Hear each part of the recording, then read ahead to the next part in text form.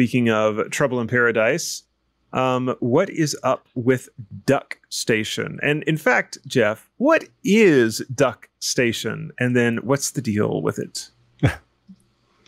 so, in case you've not heard of it, DuckStation is a Sony PlayStation Gen 1 emulator, also known as a PS1 emulator.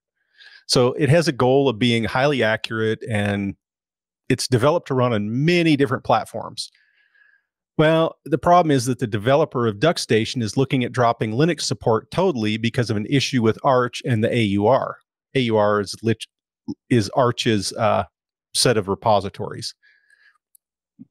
The story behind this started when the author made a package build script, PKGBUILD script, and this was to help resolve issues which were coming up in unofficial AUR packages. The author states that the problem is the official guidelines are being ignored and they're using broken packages, which then users come back to him with complaints.